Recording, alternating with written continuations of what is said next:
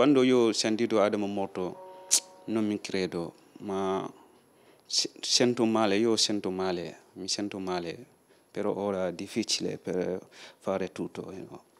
Non si danno pace gli amici di Adama Danzo, 21 anni, del Gambia, morto annegato nel torrente Archiano, un corso d'acqua del Casentino che in questo punto si allarga in un invaso la diga di Gambino. Si era tuffato dopo le 17 insieme ad alcuni amici e non è mai riemerso. Il suo corpo è stato recuperato dai sommozzatori arrivati da Livorno dopo le 22. Lui ha provato due volte ad attraversare il mare. La prima volta il barcone si è rovesciato. Sono morte, lui raccontava che sono morte più di 40 donne con lui perché non sapevano nuotare e lui si è salvato perché sapeva nuotare, è uno dei pochi che sapeva nuotare.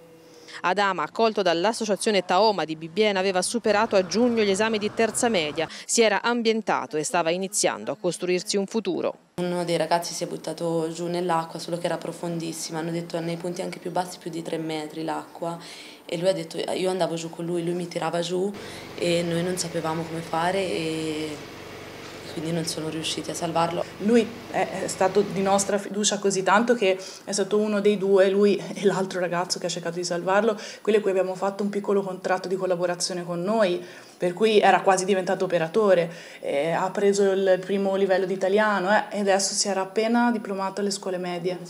E eh, ci eravamo organizzati ora, proprio adesso, per sono le 11. Avrei dovuto chiamare adesso a quest'ora il, una, un'azienda che era pronta che era a prenderlo per un tirocinio.